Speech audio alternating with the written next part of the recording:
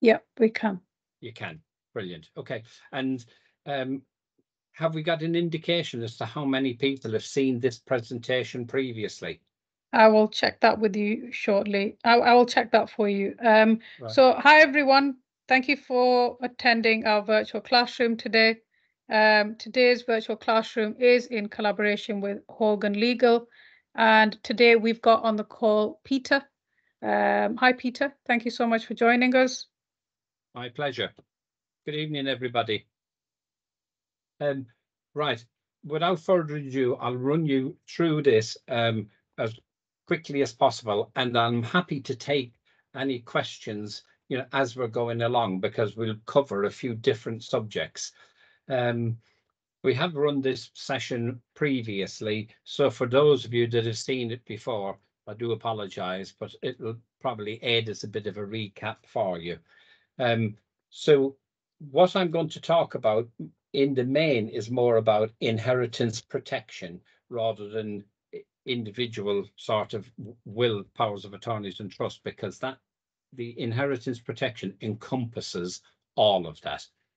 We're an award-winning firm. We've won Firm of the Year five years in a row now um, for this type of business, and we specialize in particular in two main areas, and one is protecting people's homes again being taken for care fees, and the second is um, protecting people's inheritance from inheritance tax.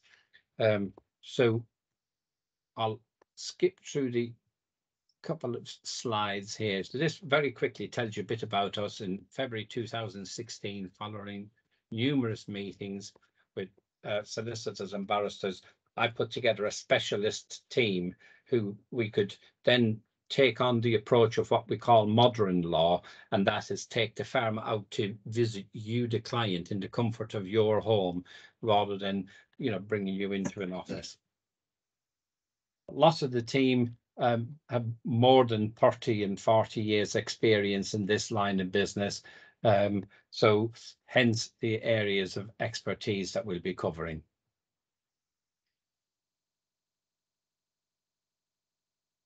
So just quickly to jump on, believe it or not, even following the COVID crisis, there are still seven out of 10 people who don't have a valid will up to date.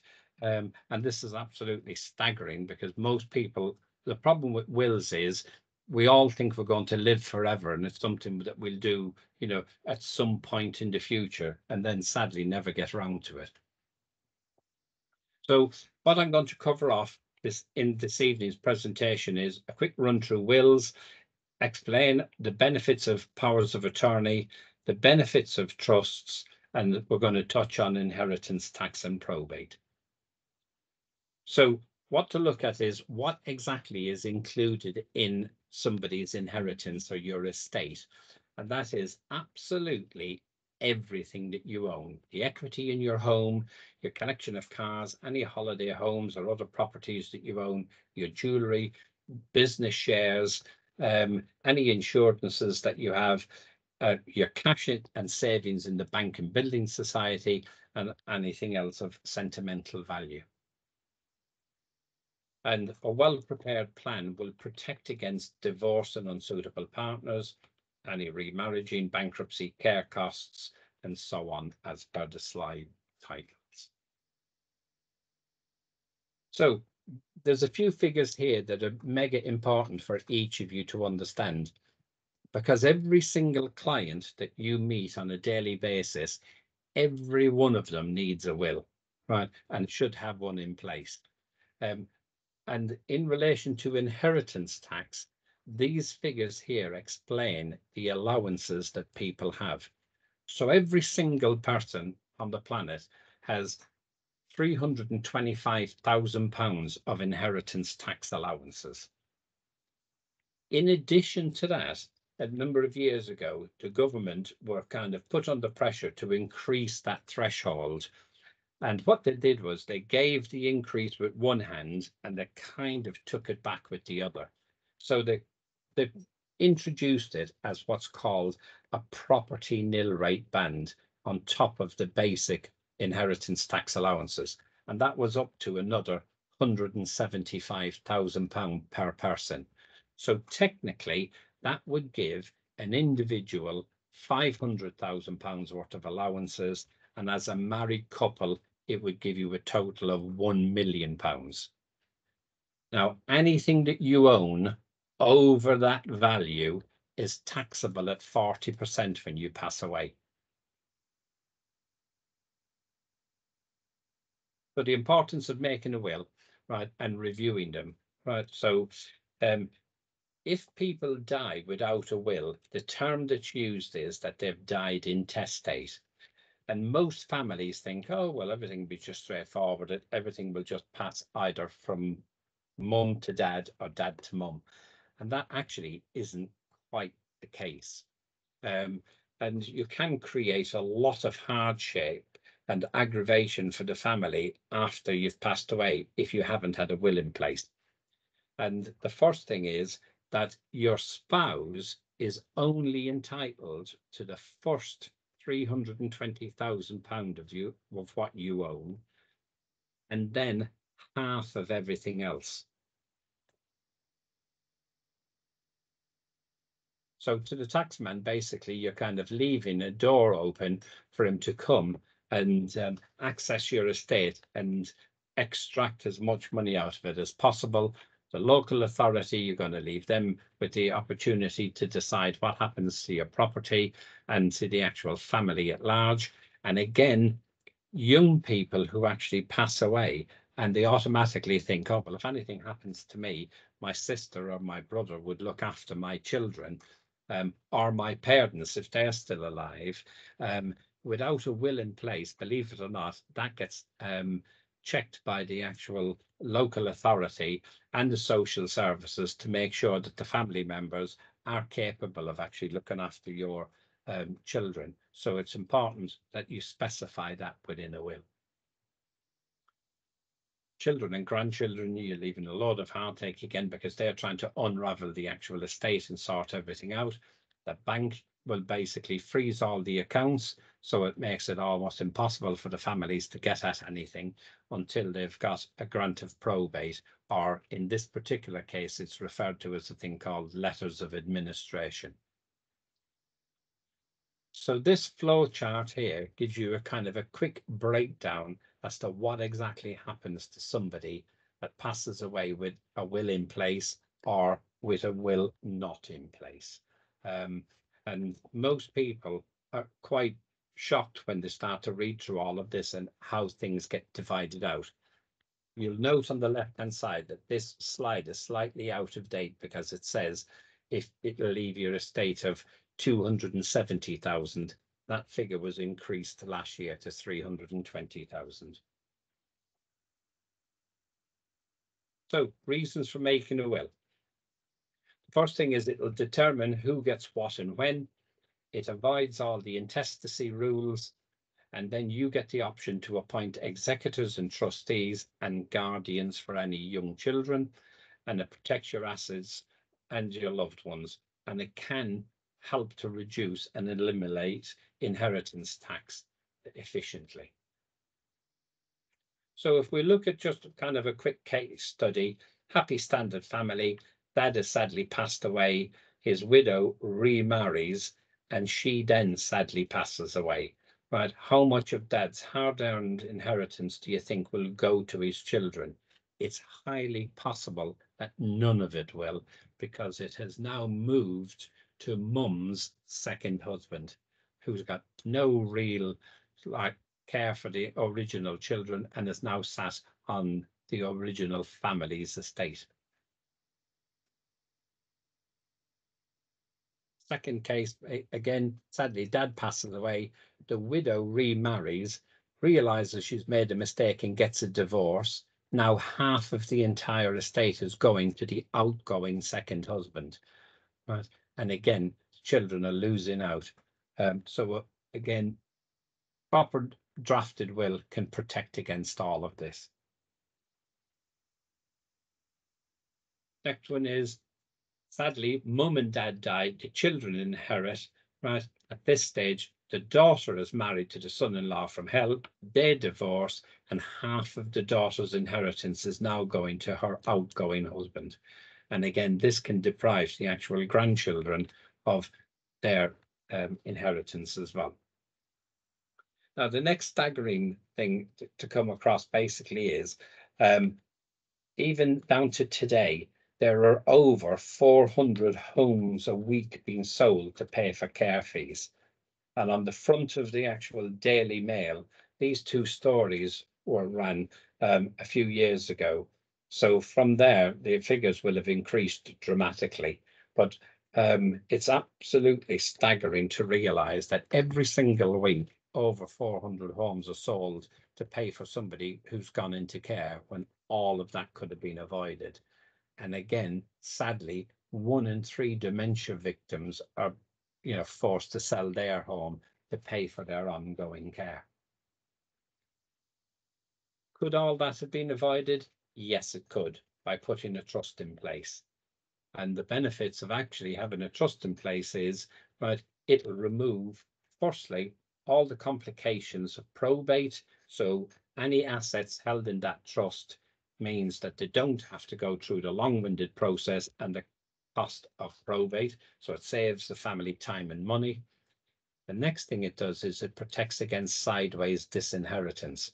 Now, this is where if the children were to get divorced or even pass away, their share won't go to their partner, it'll automatically go down the family bloodline to the children. If they haven't got any children, it would then be divided back between their siblings.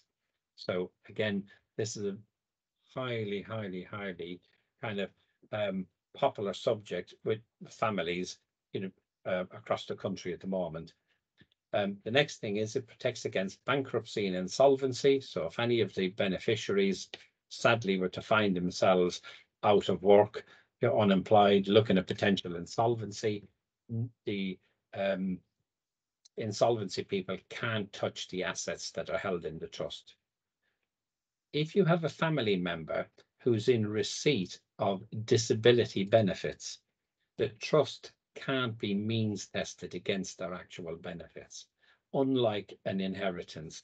If their inheritance, let's say from an ordinary standard will, drops into their bank account, their benefits will stop overnight. Um, whereas if it's held within a trust, it doesn't affect the benefits in the slightest. And the last thing is, which is mega important for lots of families nowadays, is it protects the home and any other assets in the trust against care fees. So, case study for a happy standard family again, sadly passes away. Mum goes into care. She's there for a long time. And how much of dad's inheritance tax uh, or inheritance goes to his children. So just to give you an indication in connection with care in particular, and that is the first thing that the actual and care homes, by the way, are costing anywhere between 800 and 1500 pound a week. In fact, you can stay in a hotel cheaper, but, but care homes, that's their actual set figures, and there are some that are even higher than those. So the first thing they'll do is they'll come after the family's money um, and they'll dilute that all the way down at a weekly rate but until they get to twenty-three and a half thousand pounds. At that point, you generally will pay a contribution towards the care fees um, until you get to fourteen thousand, and then they'll come after the house. If the house is protected within a trust and any other assets as well, they can't touch them and they can't be forced to be sold to pay for the ongoing care. The local authority at that stage have to pick up the actual care costs and carry on uh, paying for the ongoing care of mum or dad.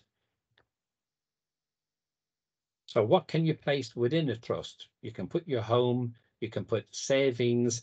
Can you draw an income from the trust? Yes, you can. Can you add and remove items? Yes, you can.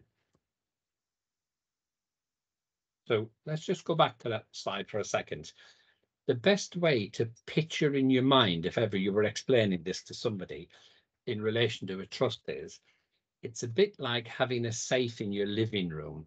And while you're alive, the only people that have the keys to that safe are yourself and your partner. You then have the trustees whose job is to keep everybody away from the actual safe until such time as you have both passed away. And then at that stage, their job is to pass the keys down to the beneficiaries. The beneficiaries then can decide what they want to do with the assets held in the trust. The trust will run for hundred and twenty-five years from when it's set up, so it'll pass from generation to generation. Now, the next subject is powers of attorney. There are two types of power of attorney, one for your health and welfare and one for your property and finance. And they're both as important as each other. So let's look at another case study. Happy standard family. Sadly, mum's passed away. Dad goes into care. He's there for a long time. Bless him, he's got dementia. Right. And he's incapacitated. And how much of his inheritance is going to go to his children? Now, in this particular case, right, what happens is when people start to run out of money, some local authorities will suggest to families moving their parent to an alternative care home. And they'll use the word alternative rather than saying the word cheaper. Um, now, if you have a power of attorney in place, bearing in mind you have got the whole weight of the court of protection behind your decision making. And therefore, you can dig your heels in and saying, I'm sorry, but you're not moving my mum or my dad to an alternative care home. They're comfortable where they are. They've been here for quite a while. So this document affords me the opportunity to overrule any decision that you'll make. So mega, mega important documents to have. So incapacity, relatives can't just walk into a bank and access your actual money if you've lost capacity. Now, um, we do run a little video clip here um, time to time, and but most people that I speak to nowadays are far more familiar with Kate Garraway off of television. And um, when during COVID, her husband basically ended up in a coma off the back of COVID, was in that for a long time, right? She thought she could carry on regardless and from a financial point of view and was horrified to realize that her bank accounts were frozen and she couldn't even get access to technically what was her own money because not only do they freeze the individual bank accounts, they'll also freeze the joint bank accounts. And at that stage, you've got to apply to the Court of Protection to actually access technically your own money. So with a power of attorney in place, it avoids all that aggravation completely. Um, and it allows you to carry on um, as you normally would. Now, what the attorneys can't do is spend all the money in the bank account, but they are accountable and they can only pay out what you would normally have been paying, such as, you know, all the utility bills, you know, if you sent a gift of 20 or 50 pound to family for their birthday or something like that, you can still do all of that sort of thing. Um, but what you can't do is say, I've been looking after mum or dad's affairs now for six months. I could do with a Caribbean cruise, so I'm going to take 15 grand out of the account. You can't do that. So this stage, we'd normally run the little video called the Heather Bateman story, which I'm going to skip past. Um, and the Heather Bateman story is a little bit like the Kate Garraway situation where her husband was out walking a dog, got knocked down in a country lane, was in a coma. She basically couldn't access any of the bank accounts and had to apply to the Court of Protection for permission. She had children who were attending university and the university fees, as you can imagine, are far more than five hundred pound. So when she applied to the Court of Protection, they gave her an, an allowance of she could draw funds up to the value of five hundred pounds. Anything over that, she'd have to go back to the Court of Protection for permission to do it. Now, if any of you have ever spent any time liaising with the Court of Protection, you'll know it's not something that you can say, oh, I'll pop down to the Court of Protection tomorrow just to get more permission. You have to apply for a hearing, wait for it to be granted, and then go. So there can be weeks and weeks go by. Power of attorney mega important document, cuts all of that out of play. There are two types, just as we said, there's one for property and finance, and there's one for your health and welfare. So that's basically it as far as wills, powers of attorney and trusts are concerned. In relation to inheritance tax and capital gains tax, we're partnered up with the barristers chambers in London. We've got two barrister intermediaries, Lloyd and Christian, um, and they generally tend to put the actual files together on behalf of the chambers.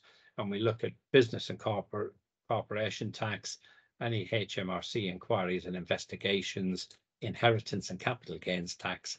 And in most cases, with inheritance tax uh, mitigation, we can get that figure down to almost zero and, and save the family quite a lot of money. Now, the next thing is, this is a slide we've added recently. Um, it's absolutely critical if you've got a life insurance policy that that policy is written in trust. And let me explain what happens if it's not.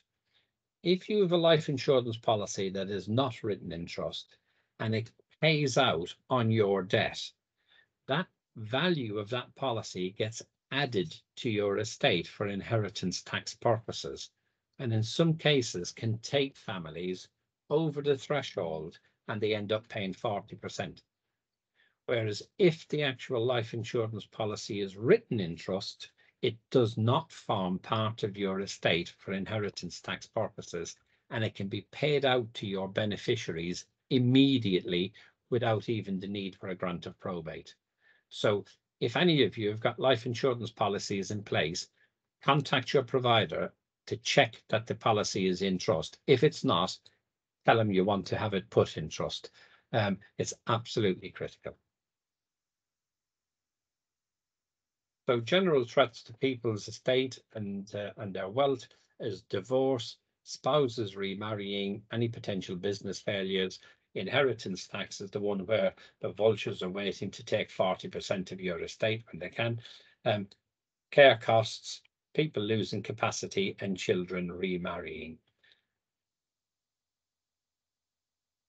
Your estate plan basically should cover a properly professionally drafted will the benefit of a proper professionally drafted will is that it will generally carry professional indemnity cover so that if there's any challenge to the will, that policy can uh, come into play and protect the actual um, clients.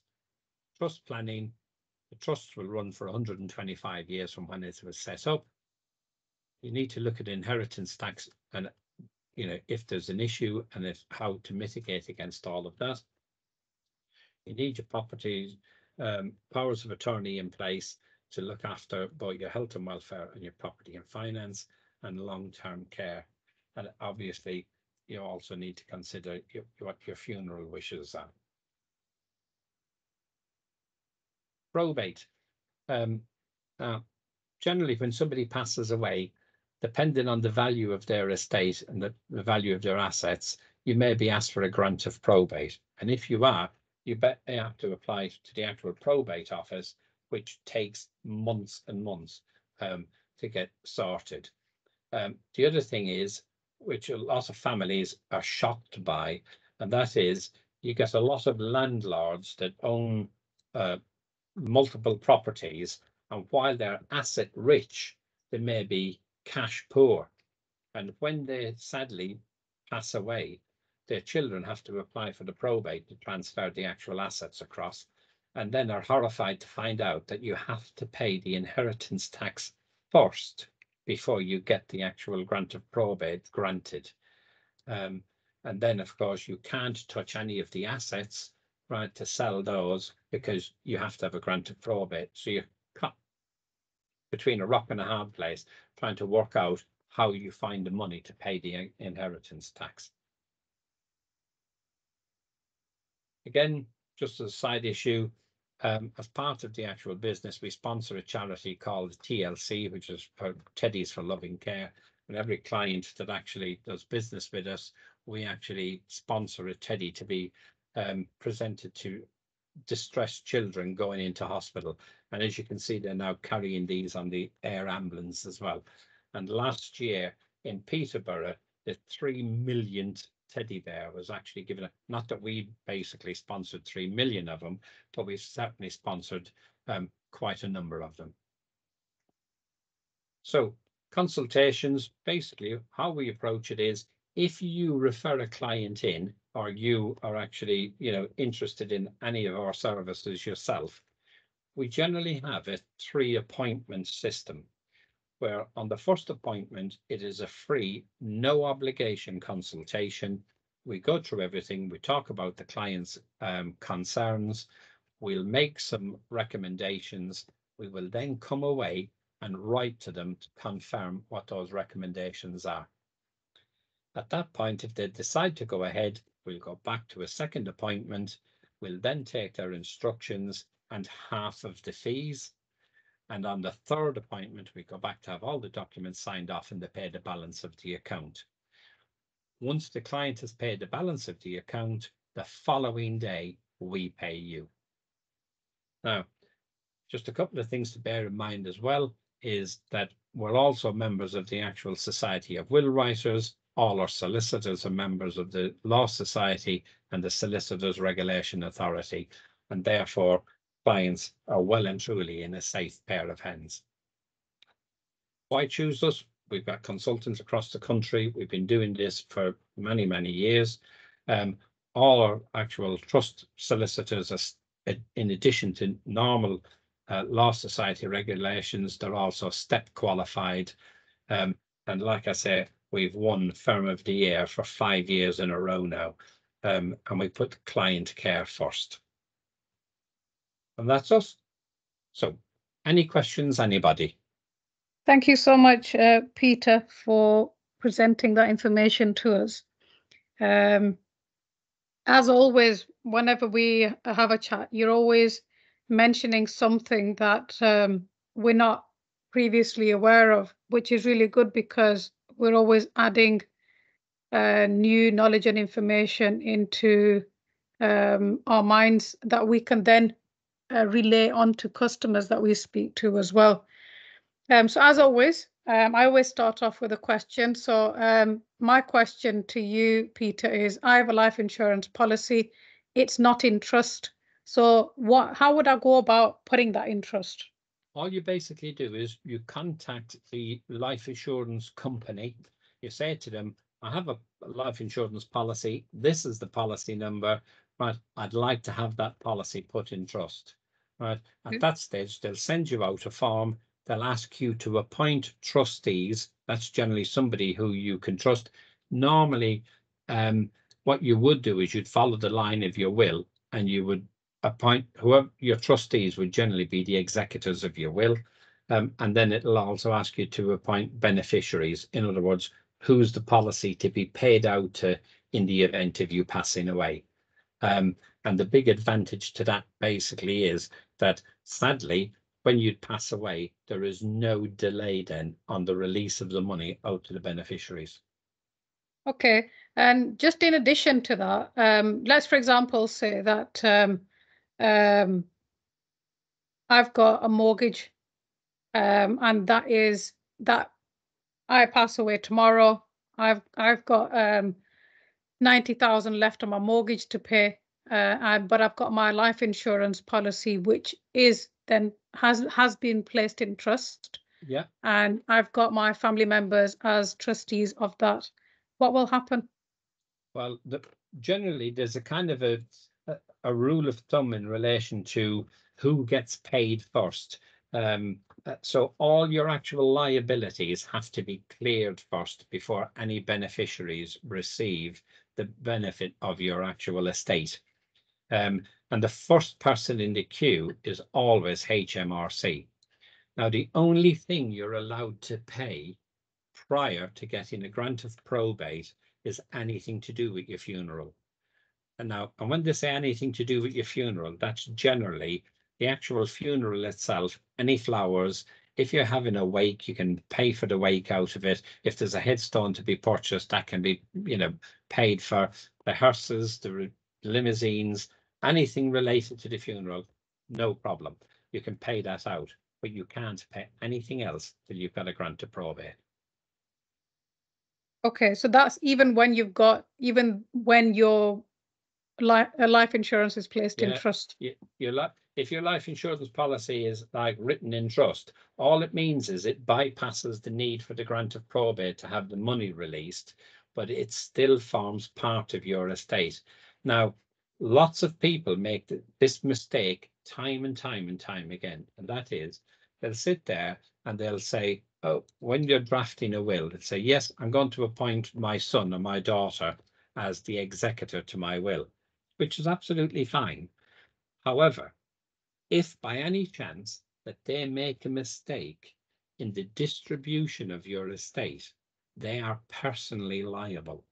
Right?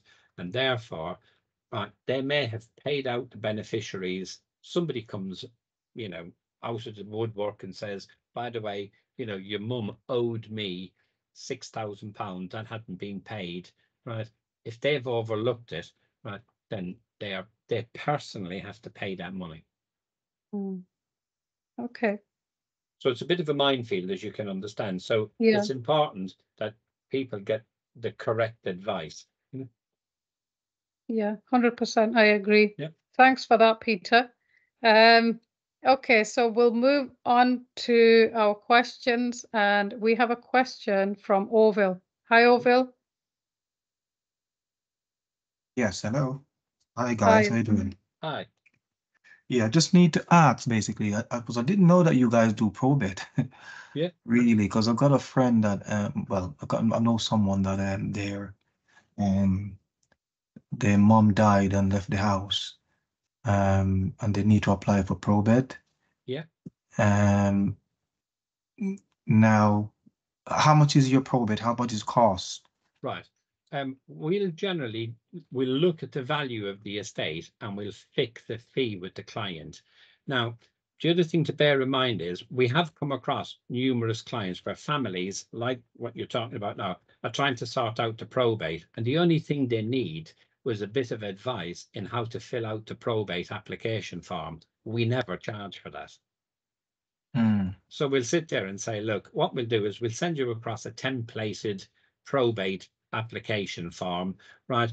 Try and follow it to the best of your ability. If you're stuck, use us as a reference library, pick the phone up and ring us. However, if you want us to actually take on the whole probate case and sort it all out, we'll normally charge five hundred pound plus VAT plus any disbursements. And the disbursements are normally the probate application fee, which I think off the top of my head is something like two hundred and seventy pound. right, that's what, so that'll be about, what's, uh, that's five hundred pound plus. Plus the two hundred and seventy, yeah, so it would be about, yeah. And most people, when they quote you the price, they don't tell you that, you know, that they'll pass it off as saying, and disbursements. And, um, and that word disbursements covers a multitude of sins, right? So any additional costs in relation to the fee for processing, right, they will apply. Right, And that's okay. quite, just to add, Peter, that's quite a, a, a decent price as well, Yeah. from my understanding. Right. Yeah. I, I mean, get me, if we do what we call a full estate administration, right, we'll generally sit with a client and say, right, how big is the estate? Right, we'll charge a half of one percent to sort absolutely everything out, lock, stock and barrel, right? Um, and we've seen solicitors out there and banks of. Soli- some solicitor firms have been charging three percent.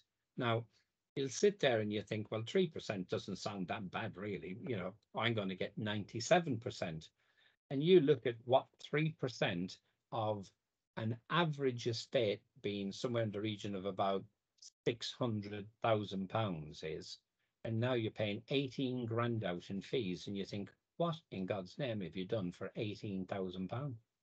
Mm, mm. Right. Yeah, so- the- the- sorry, go ahead. yeah, so- and that's basically it. So go on. The other question is basically in terms of inheritance tax, um, because there's no will and you have to apply for probate.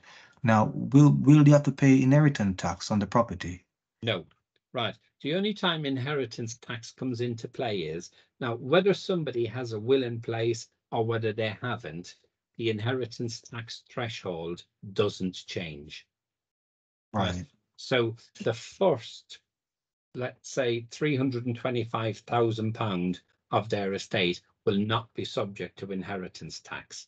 Okay. Now, in order to to get the other hundred and seventy-five thousand, there's a couple of little bits um caveats onto that, right? And the first one is, A, you must own your own home. Two, you must have a, what's called a linear descendant, which means basically you must have a child. And then thirdly, your house must be worth hundred and seventy-five thousand pounds or more. Right. Now- Okay. So for a married couple, for both of them to get the hundred and seventy-five thousand, the house would need to be worth three hundred and fifty thousand pound or more. Mm. Right, right. This person that I'm, that I'm, that I'm mentioning, they Yeah. do, they, they do not live in the UK. But, um, they're not a citizen of the UK, but they, their mom was, which Yeah. own, which own a property in a region of hundred and seventy thousand or something like that. Yeah, So that's what I was asking basically. Yeah. So, Well, so she, but- she can just apply for probate and, and that's it then, is that right? exactly. And all the basically, the only reason they need the probate is to transfer the asset into the children's name. Now, prime example here is if that lady had a trust in place, they wouldn't need to apply for probate at all. Right? It would have automatically gone to them the following day. Right, okay, I see. Yeah. So, and this is the big advantage of having a trust in place. You, you have no probate to be bothered about, right? It just passes the assets straight over to the beneficiaries as an administrative exercise. Mm. So that the trust include a will, so if they are will, they don't need to apply for probate either, is that right? Well, if there's a will there, depending on the value of the asset, then they would have to apply for probate. All right, okay. Yeah, the will doesn't remove the need for probate. A trust does. Mm, right, okay, got you. Yeah, so you'll get lots of people and they'll say, right, I'm going to put my home in trust to protect that so that, God forbid, if I go into care, nobody can take it, right? It's protected from my children. And equally, if any of the children in time get divorced, the divorced partner can't get any share of that house. Everything else that I own, I'm going to cover in my will. And that will dictate what happens to that. So like my money, my cars, you know, um, and so on, that then is recorded in the will document. Right, okay, that's fine. So the person, if, if, if, I'm gonna have a word with the, with the individual, if they need to apply for probate, pro, what am I saying? Probate, yeah, Probate, sorry. Then uh, should I just go straight to the job bank and just, um, you do. Yeah, do that? the, Yeah, the best okay. thing to do is fill in the actual form, right? Put the actual contact details of, uh, you know, who your colleague is, right? Send that across to Tabor. Tabor basically then will send it to me and I'll contact them to make an appointment. But I will tell your, the client where I've got their name from. Yeah, okay, got you. Yeah. Okay, So thank you. What to do is once you've um, uh, spoken with your customer, if you then um, either if you know how to send through the lead form, fantastic. Or if you contact Shazib, he will Yeah. then support you to send across that lead form, and then Peter will get in contact with your customer. Is that all right? No problem. Thank you. Thank, thank you for your questions as well. Thank you so much. Um, you. just to kind of help you all going forward, right? Sometimes i- i- if you talk about wills and talk about powers of attorney and trusts and stuff, right? Because there's so much to take on board, it flies over people's heads, right?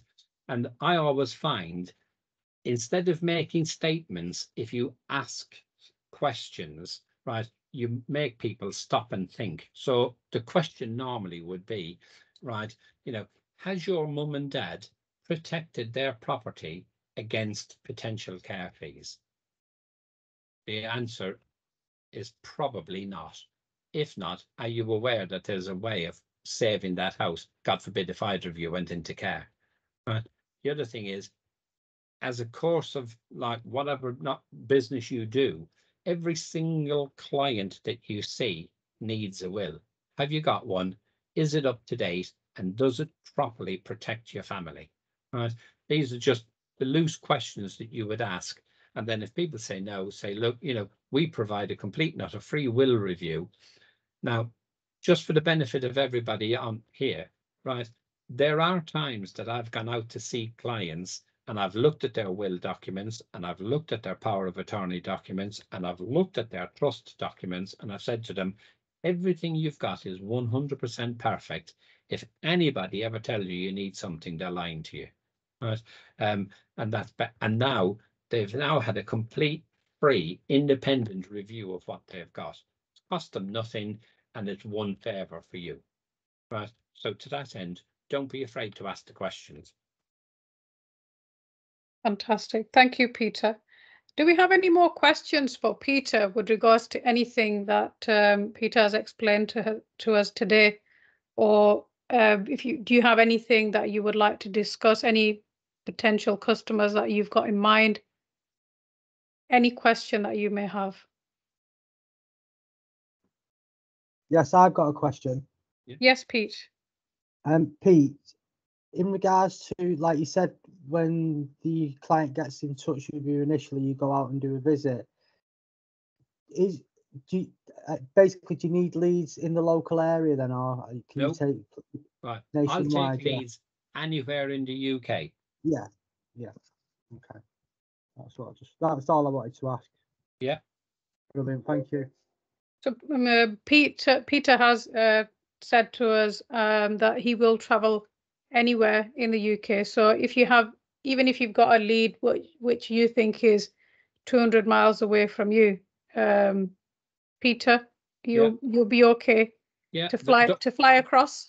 yeah, yeah, my helicopter landed their back garden. Right. Um, all joking aside, ju- just for the benefit of everybody, uh, we've got clients in Cornwall, we've got clients down in Kent, we've got clients up in Norwich, we've got clients in Newcastle, Carlisle, right? We've got clients in Wales, right? We literally have clients all over the country, right? And um, I always like to sit down with the client face to face and go through everything because at the end of the day, the only thing that's important is their wishes and their peace of mind. Fantastic. So we've got one more question now Yep. from Stanley. Hi, Stanley. Hello, good afternoon. Hi, Hi. Stanley. Yeah, I'm having a hi. Yeah, I'm having a, like a uh, like a two questions. I just wanted to know, like, I'm just a little bit confused. It's a new portion for me. Yes. Like, um, how you want support from recruiters, and how you will be supporting to recruiters, and why the people are going to tell for recruiters they can go directly to the lawyer or agents. So how in this scenario? Yes. Stanley, so um, with Job Bank, as uh, when you attended the induction with me, you went Yeah. through recruitment, marketing, and shop. So wills, That's probate, family allocation trust falls under marketing. So we're marketing Okay. a service. Okay. Yes. Okay. So we Yeah. are not classed as just uh, being recruiters. We are, in a sense, we're business consultants because we are dealing with a number of, uh, we're dealing with a number of different things. Okay, Okay, fine. Yeah. This is a marketing uh, side. This is Yes. full. That's right. Okay. Okay. So you you feel free to ask your question. Yeah. Do you have another question, Stanley? Eh, no, because that's uh, like a government website. They can just because I'm just becoming confused because a lot of people they go for gov.uk and they can go directly with other lawyer or something. So how they are going to contact it to us, like sort of and things, the people. So Okay. because we are doing the like recruitment side because we don't have any sort of an other sort of accreditations or something like that because we are not like uh, mm, FCA members or something like that. So why No, they have been right. contacted to the recruiters? Stanley, just to kind of put your mind at rest, first of all, right, um, this is not regulated in relation to the provision of wills and powers of attorney. Trusts, different matter, because that's what's called reserved activities, and that they can only be produced by solicitors. Now, the next thing is, you're quite right on what you've said. You know, somebody could go to their local solicitor by all means if they will. However, what you generally find is your average high street solicitor is a bit of jack of all trades and a master of none. And while he'll do a bit of conveyancing, a bit of accident, a bit of debt recovery work and so on, right? He won't be a specialist in relation to trusts and protecting people's homes from care fees nor inheritance tax. Um, and that's what we look at in relation to the family. The other thing that's very important as well is that as a company, not only are we respectful of the UK laws, we're also respectful of Sharia law, right, for Asian families, um, because depending on the age of the client and the generation, different family levels have different views on how they'd like the estate distributed. And in some cases, you know, you'll get mum and dad say, no, I'm happy for the estate to be divided between my four children, but it must be as per Sharia law. And then we'll go, yeah, that's absolutely fine. We'll record all of that in the documents. Okay, yeah, thank you. Yeah. Thanks, Stanley. Any more questions for Peter? Yeah, just one more question. Yeah. In terms of marketing this, can we can we set up like um a dedicated funnel or something on our own to, to market it on our own, like on Facebook or Facebook if- if you want to add on to your services that you're providing estate planning services, right, and doing wills and so on, you can do. And you, if somebody says to you, "How are you doing that?" You, you, your answer is, "We're doing it in association with Horgan Legal Limited," Right, because you're not giving the advice. We are. Right. Mm.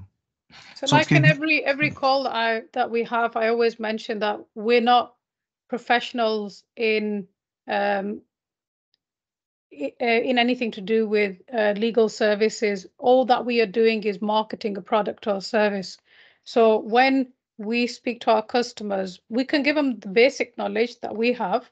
But when it's more technical, what we'll do is we'll put the details onto a lead form and we will send it through and Peter will pick that up and then he can have that conversation with them because he's the qualified expert.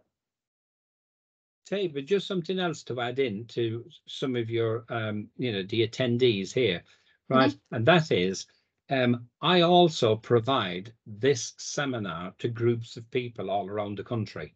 So for argument's sake, if you're a member of an organization that would like somebody like me to come along and do a free talk to the group, right, we'll happily do that.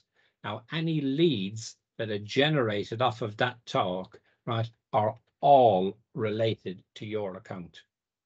Yeah, fantastic. So again, um, for everyone on this call today, if you feel as though you've got a group of people that would uh, benefit from um, having this presentation presented to them um, somewhere, maybe somewhere local to you or somewhere, even if it was like online, like an online coffee morning thing, you know, just arrange something with them. And if it would if it would benefit a group of people and then we can arrange it with Peter and Peter would be more than happy to to join us.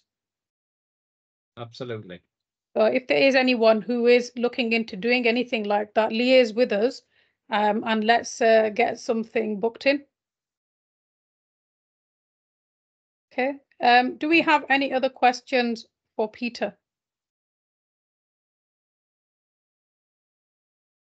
Okay, so um, Peter, the session today again really beneficial, really knowledgeable, and um, anyone who um, isn't comfortable speaking on the call uh, now, if you guys want to contact myself separately or your business coaches, um, we can then guide you and support you to send across your query to Peter, and then Peter will be in contact. But um, the session's been fantastic once again.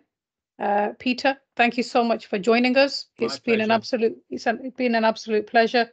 Um, and um, hopefully, um, Peter, you'll uh, come back uh, uh, on a in another couple of weeks and do another session with us. That'd be great. Thank you, everybody, for your time. Fantastic. Thank you so much, Peter. Thank you so much for joining. Thank you, Peter. My Thank. Thank you. Been Thank you. Very Thank you. interesting. Very Enjoy the rest Thank of your you. evening. Thank you. Thank Thank you. And you. guys.